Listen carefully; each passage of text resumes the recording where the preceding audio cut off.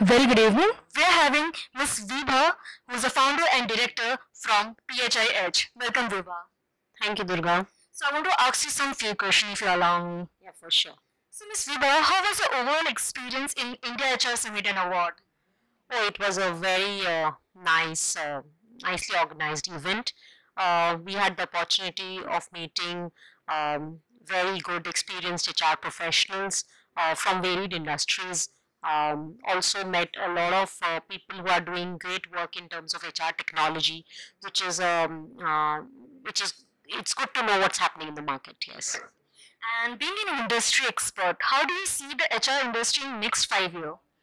I think uh, with uh, you know I, I read somewhere that the new generation which is coming in is known as Zindagi Na Milegi Dobara.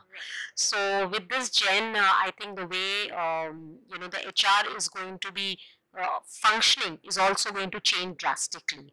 You know, we move, we have evolved from being a policeman to now being having a seat uh, in the boardroom.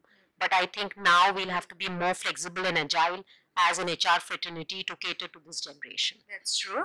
So, would you like to share your thoughts on current opportunity and challenge in Indian market?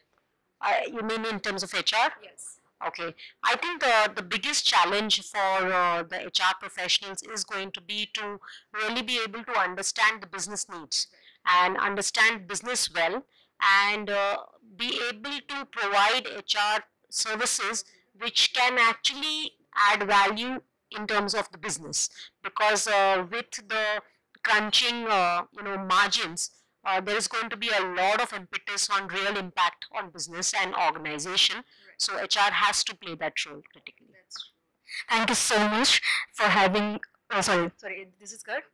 Okay. Thank you so much for sharing your thoughts. It was a pleasure having with you over here. Thank you so much.